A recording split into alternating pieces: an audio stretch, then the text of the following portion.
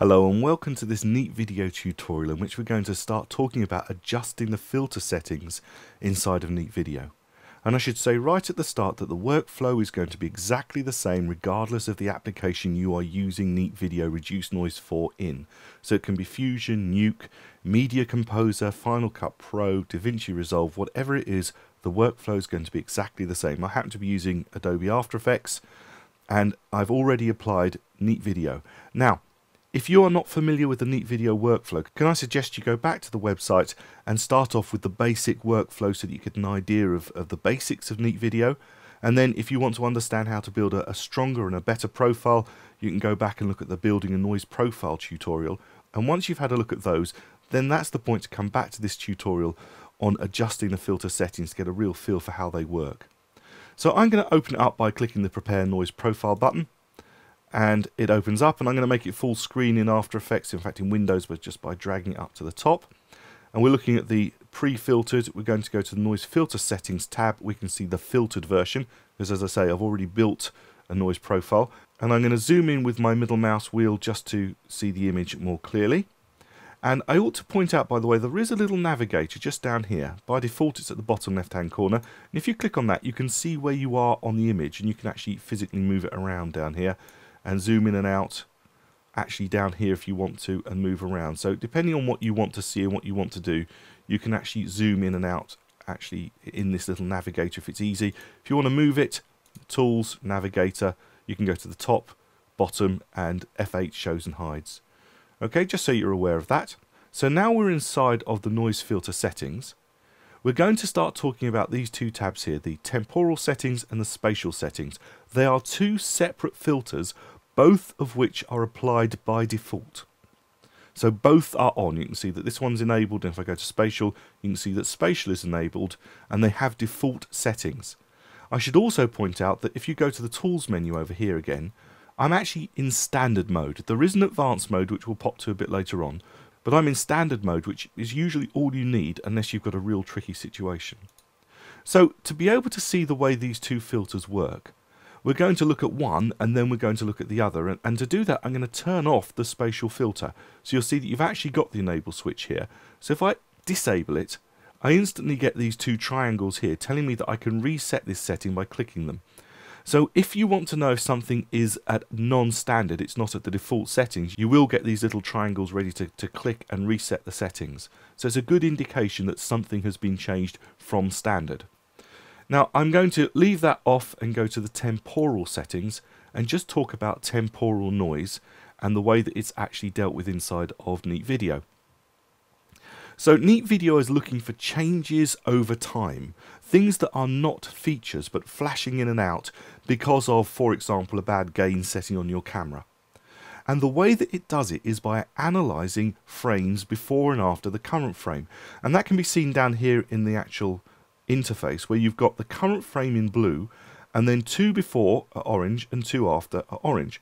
It's saying that it is comparing this frame with two frames before and two frames after, in other words, five frames altogether, to work out what is noise flashing in and out. And you can see that the radius up here is set at 2, so that we know that it's two frames. Now, the more you increase this, particularly for noisy clips, the better results you're going to get.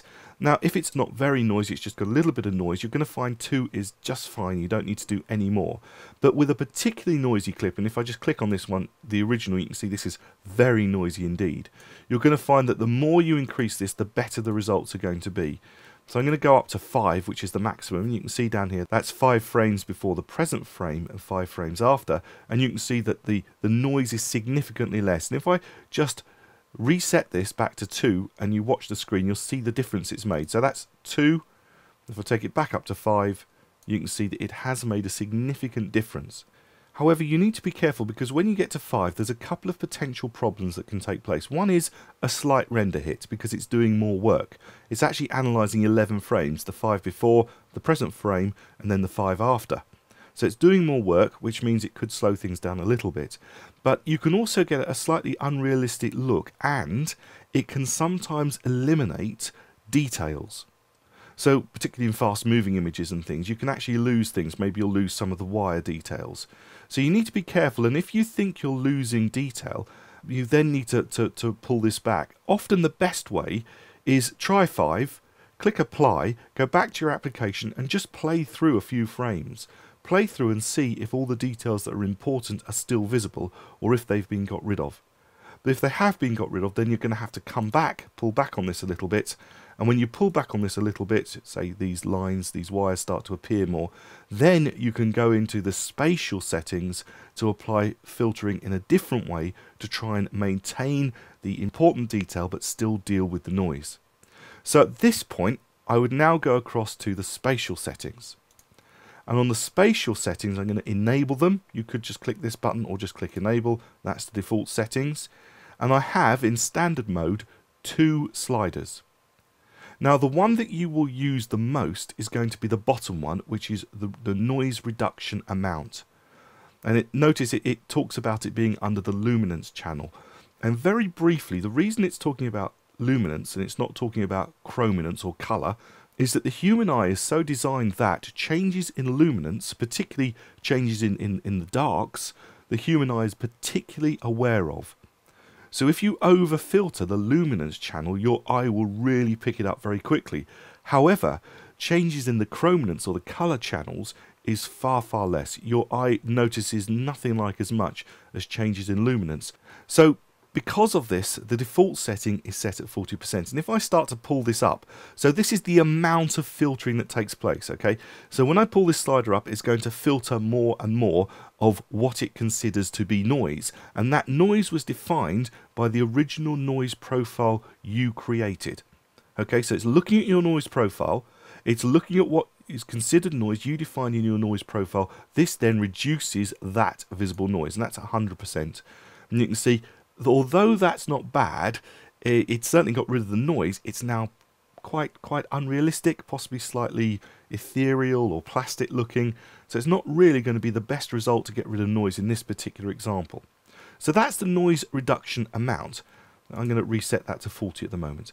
The noise level above it here is what is defined as noise. Now it's set at zero. In other words, it's looked at your noise profile and said that is noise. Therefore, that is my baseline, that is my zero point.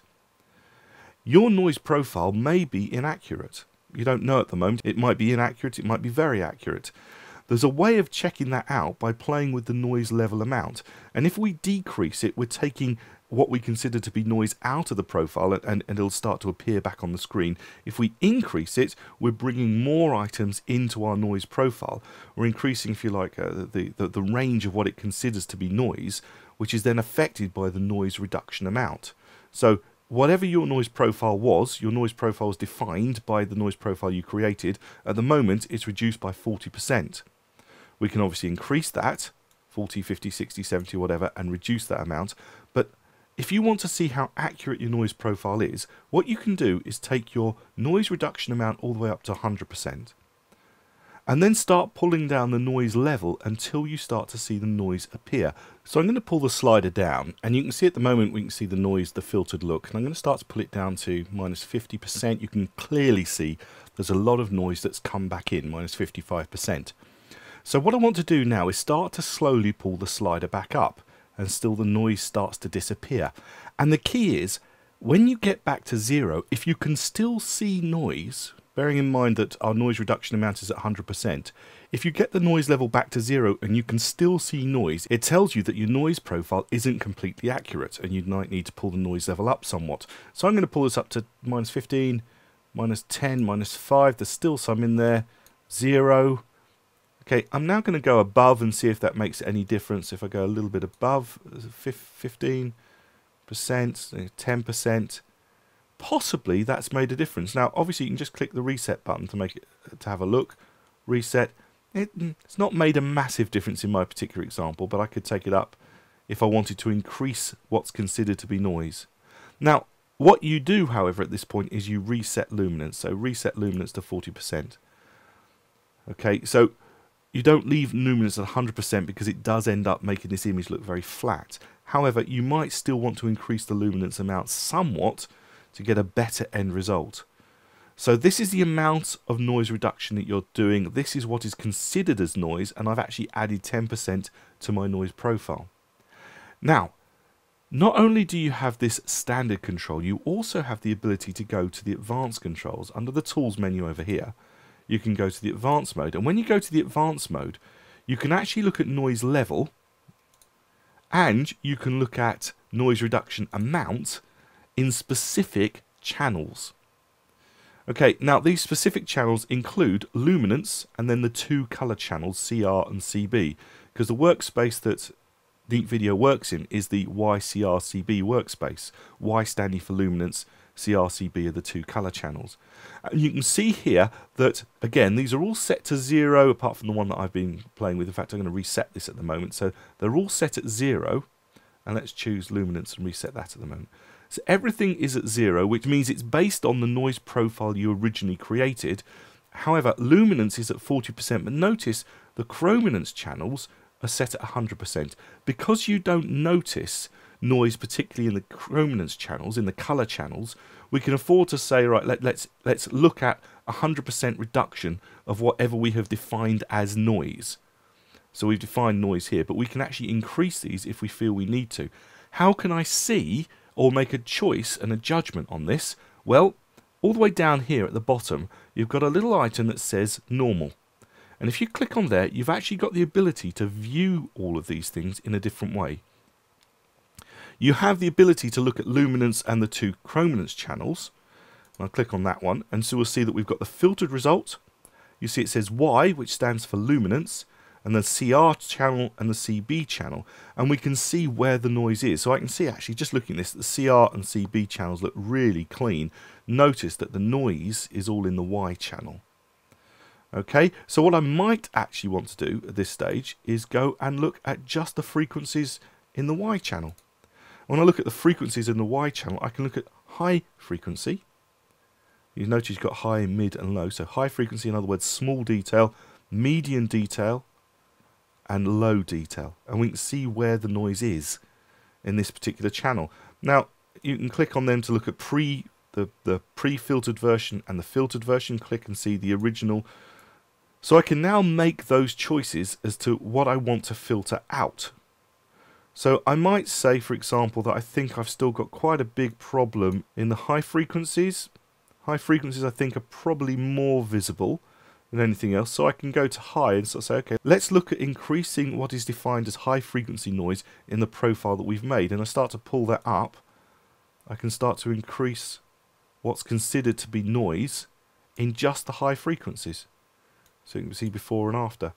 So bear in mind that that's already at 100%. So as I start to pull this up, it's going to bring more and more into the profile that I've created. Let's also look at the color channels very briefly. So I'm going to look at the CR channel. And we can see, again, just clicking, you can see before and after, you can see that there's a little bit of visible noise, I think, in the in the lower frequencies more than the higher frequencies. So I might say, okay, there's a little bit I want to just, just increase a little bit in the CR channel, a little bit more. That's a, that's, that's a little bit smooth. That should make quite a bit difference. And then we could go, so, okay, let's look at the CB. And the CB, again, has a little bit noise it's not too bad actually. Often that's quite a noisy channel. I'm just going to pull up a little bit perhaps in the CB as well. So 15% in both of those. So I've brought a bit more of what is considered noise into those channels. Notice that they're already already being filtered by 100%. I've not increased the luminance overall. I can, as we've seen before, go back to the luminance channel and say, do I want to increase the luminance reduction amount a little bit? So it's 45, 50%, 60%. Okay, when you start getting to these figures, you're going to possibly end up with smoothing. Now, at this point, actually what I'm going to do is I'm going to go back to the normal view and look at the filtered end result. Remember, you can click on it to see before and after. And you can turn around and say, well, how realistic does that look? Is that good? Is that bad? How do I want to move forward from here? Am I happy with this end result or do I want to do something else? What I might want to do, in fact, I'm just going to move this one down to 50% or 50, 50, yeah, say 50% at the moment. What I might want to do at this point is say, do you know what? I've made these adjustments, but um, I, I'm not sure. I think these are good, but I want to experiment. Now, to experiment, you do this. You go from variant 1, you click this plus button. If I just right click on it, you'll see that by default, when I click that plus button, it's going to give me a duplicate of what I presently have. So I'm going to click the plus button I get variant 2. Variant 2 uses exactly the same settings. So variant 1 and variant 2, just click between them, look exactly the same. On variant 2, what I can do is now add sharpening. And I'm going to click the sharpening button and I'm going to open up sharpening. Sharpening is now on. And you'll see that it's already got 100% sharpening on fine detail. Now, enable it and disable it to see before and after. And in fact, what I'm going to do is I'm going to zoom into this item here. And I'm going to just navigate a little bit better with it here so you can see some wires and windows, something like that. Okay. And I'm going to disable sharpening and re-enable sharpening. It's made a tiny bit of difference. But what I want to do is I pull up the high frequency. So I'm going to pull up the high frequency noise up to say 200%. So you can see what a difference that's made. So that's 200%. Turn it on and off just to see before and after, see what difference it's made. Certainly has made some difference around here. Okay, so now we've done that. Let's also pull up the medium noise. Let's pull that up to, say, sharpen that up to about 100%. And again, we can turn it on and off to have a look before and after. You can see what a massive difference that's made. And we can pull up the low frequency as well. We can start to pull that up and see if that makes a difference. Again, that is making quite a bit of difference. And I'm going to, again, turn that, enable that before and after. Before and after, that's made a huge difference. I might turn that down a bit. The query, or the thing you need to be very careful about, is not over sharpening. Often we say we're sharpening, the best thing to do is to sharpen and then when you think it looks about right, pull it down a bit because it, it's possible to over sharpen. Please note that there is a, a, an extra filter setting here which says prevent over sharpening and that is on by default and you do have access to the channels which we're not going to go through here but you can enable sharpening in the CR and CB channels as well but we're not going to, to deal with those in this particular tutorial. But we've enabled sharpening. Now sharpening is in variant 2 so at the moment we're looking at it by switching on and off here and of course we do want to then zoom out to full screen pretty much and we can enable it on and off here or alternatively we can switch between the two variants. Now we've got variant 1 and variant 2. The obvious thing is to click variant 1 and then click variant 2 but that means you have to look away and it's not quick to be able to sort it out and I can see haloing problems. So I can see that I will need to pull my filter down at some stage. But another way of doing it is actually just to right click on the non-selected variants. If I right click on variant 1, temporarily selects it and let go. So I can just keep my eye on the preview all the time as I'm clicking between the two. Or alternatively, left click on the one that's selected. So if I left click on variant 2, it goes to variant 1 and just switches between the two as I'm just clicking between them. So different ways of seeing it. However, you would need to get in there and I would need to pull my sharpening down. I certainly think that that's definitely overdone it somewhat. And uh, then you play around with it. However, once you've got your sharpening to the right point where it's not creating halos and you're happy with the way it looks, then all you simply need to do is click apply. And you've applied a well filtered, well sharpened end result in whatever application you're working in. I hope you found this tutorial useful. My name's Andrew Devis and thank you very much for watching.